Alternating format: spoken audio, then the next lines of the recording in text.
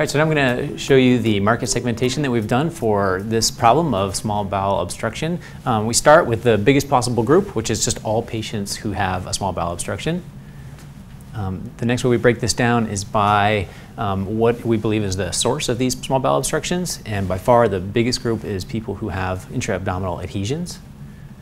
We can further segment that by people who have had a prior abdominal surgery and people who have had not, not had a prior abdominal surgery. And this, you see, um, is sort of the biggest, most obvious group among all of those. So we're going to focus on that.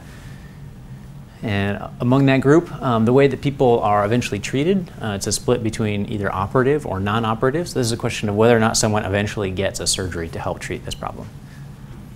And we can segment that group a couple different ways, uh, both by the people who eventually treat them or who are most responsible for their treatment, um, potentially an internist or surgeons, and that is true for both people who get surgeries and don't get surgeries, can be treated by a surgeon. And we can also split that up by who's, um, who's insuring these people or who eventually pays for the treatment. And so if we, we sort of break that down, you can see the biggest group, all patients who have a small bowel obstruction, um, about 340,000 patients per year in the United States. Um, those who are adhesive related, 251,000. And the majority of those are people who have had a prior abdominal surgery, about 225,000. And so we can continue, continue to break that down, but we believe the sort of largest, most homogenous, and biggest group um, is this group right here, 225,000 patients a year who've had a prior abdominal surgery. And so we're going to focus on those for the potential solutions.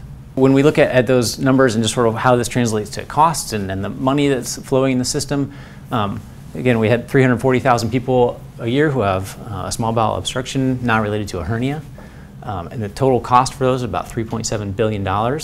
Um, when we bring that down to just those who have this as a result of an adhesion, um, the total spending for that is about 200 or 2.4 billion dollars a year.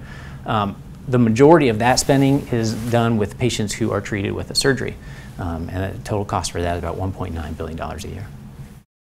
You start with this big general population that's relatively heterogeneous, and then you apply these different. You find these segments that make it more homogeneous and in that sense, um, easier to target as a market or easier to develop a solution for that particular segment. But then limits, you know, are applied in terms of just size. So what we did was segmented completely as thoroughly as we could, and then went up and down the scope to find the middle ground that really balance the homogeneity and then market size. Don't just try to have this huge number so that it looks good and Right. you know kind of cook the books. You got to be realistic, and people will nail you and you know ask about every little detail, want to know where it's from and you know why you took that percentage of this or so. Be honest, and you want this to be accurate because you want to make the correct decision on whether this is something worth going forward with.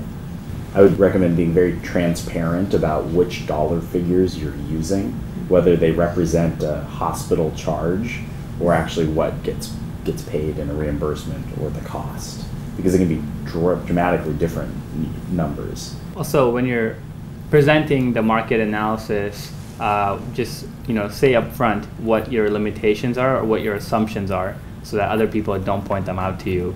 And so you can be upfront and say, hey, we've done this great analysis, but here are what the limitations are.